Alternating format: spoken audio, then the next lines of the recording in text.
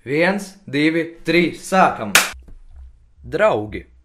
Annas divi animācijas studija un es, Artūrs Voblikovs, novēlam jums pavadīt jauno gadu lustīgi, bet apdomīgi!